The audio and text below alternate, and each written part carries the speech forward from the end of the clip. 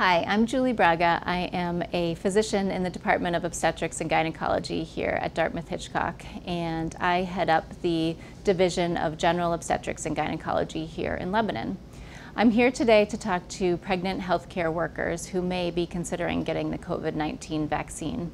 You know, first of all, I'd just like to say how thrilled and relieved we are to now be given access to the vaccine. Um, it just really feels wonderful. And I think for many of us in healthcare, we feel like getting vaccinated will be an opportunity to you know, not only make ourselves and our families safer, but also make our patients safer. We healthcare providers feel that it is important for pregnant and breastfeeding women to be offered an opportunity to get the vaccine. Whether or not you get the vaccine is really a personal decision and we encourage everyone to reach out to their provider and talk to their provider about whether or not it's right for you.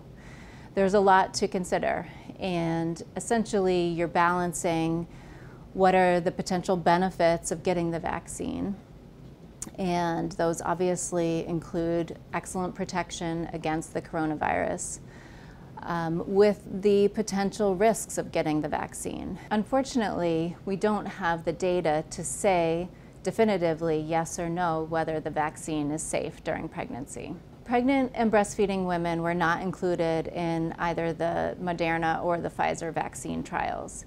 And you know, this is commonly the case of clinical trials that pregnant women are specifically excluded. So therefore, we can't say for certain that pregnant women would not have complications from the vaccine. However, from what we know about the technology used in the vaccine, there is no reason to believe that it would be dangerous for pregnant women or their babies. The vaccine does not have a high likelihood of crossing the placenta, so we think that there's a very low chance that the vaccine particles would even get to the baby. And from what we know about the technology used in the vaccine, the mRNA type of vaccine does not go into a cell nucleus and cause genetic changes. So therefore, there's really no reason to think that it would be dangerous to a developing fetus. The other thing to really strongly consider in taking the vaccine is how the coronavirus affects pregnant women.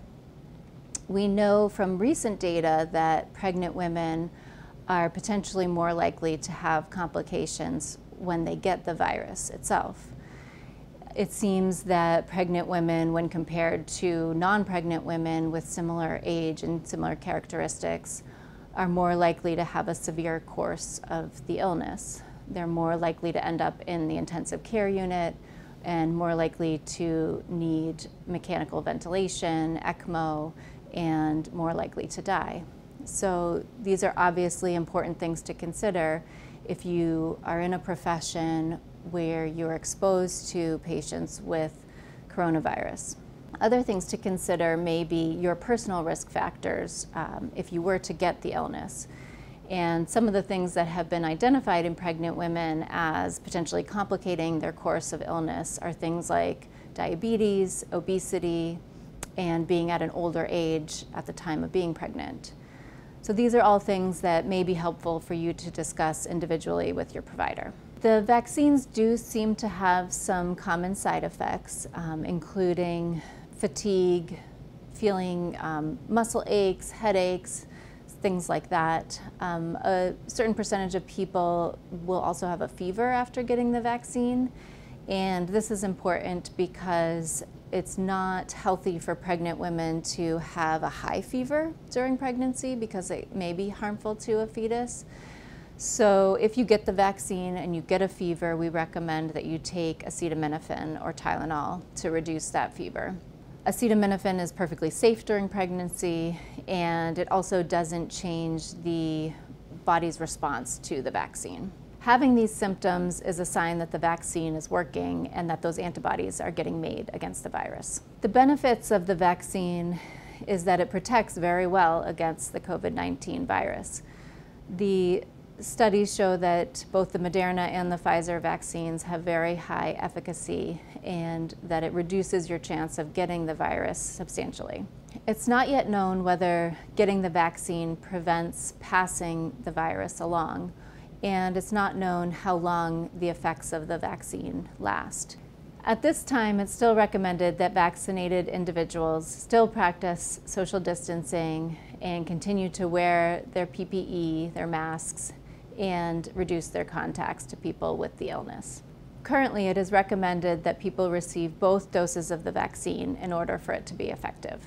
Your risk may be higher if you live in a community where there's a lot of COVID spread or you work in a high risk setting, such as in healthcare or on the front lines in the community. The vaccine is being given first to healthcare workers, many of whom may be pregnant or considering pregnancy or may be breastfeeding. We are definitely recommending that women who are breastfeeding highly consider getting vaccinated. It seems that the potential benefits of breastfeeding women getting vaccinated far outweigh the more theoretical risks of the vaccine during breastfeeding.